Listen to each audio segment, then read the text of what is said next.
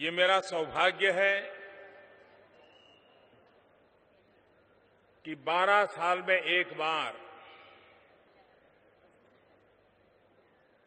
जो महापर्व होता है, उसी कार्यकाल में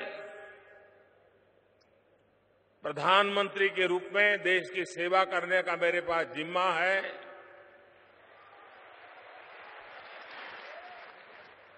और इसलिए प्रधानमंत्री के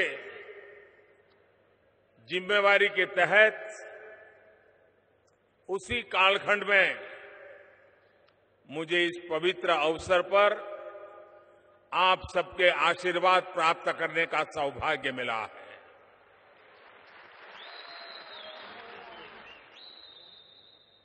श्रवण बेलगोला आकर के भगवान बाहुबली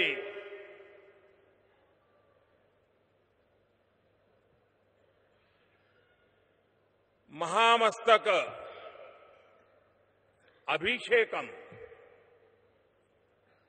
इस अवसर का और आज यहाँ इतने आचार्य भगवंत मुनि और माता जी के एक साथ दर्शन प्राप्त करना, उनके आशीर्वाद का प्राप्त करना, ये अपने आप में एक बहुत बड़ा सौभाग्य है।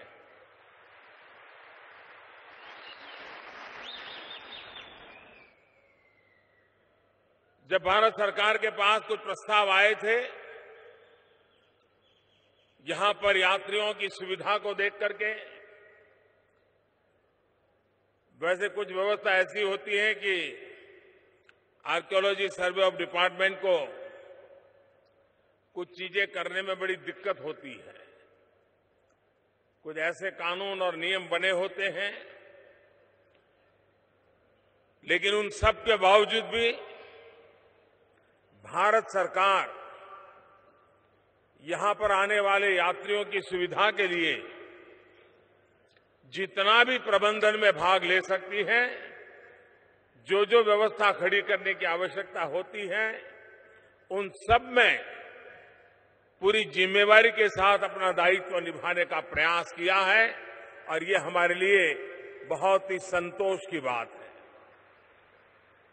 आज मुझे एक अस्पताल के लोकार्पण का भी अवसर मिला। बहुतेक लोगों की मान्यता ये है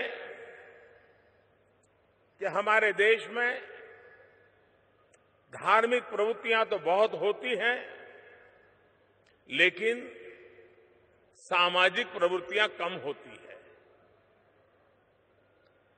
ये परसेप्शन सही नहीं है। भारत के संत महंत आचार्य मुनि भगवंत, सब कोई जहाँ है, जिस रूप में है, समाज के लिए कुछ न कुछ भला करने के लिए कार्यरत रहते हैं। आज भी हमारी ऐसी महान संत परंपरा रही है कि 20-25 किलोमीटर के फासला काटते अगर कोई भूखा इंसान है तो हमारी संत परंपरा की व्यवस्था ऐसी है, कहीं न कहीं उसको पेट भरने का प्रबंध किसी न किसी संत के द्वारा चलता रहता है।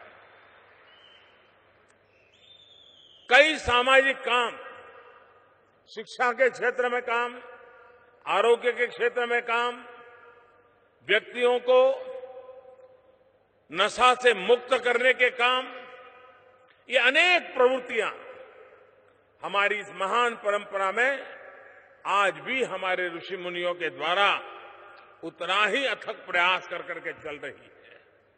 आज जब स्तुति के और मैं नज़र कर रहा था तो मुझे लगा कि मैं उसे आज आपके सामने उद्गृत करूँ। और गोमटे में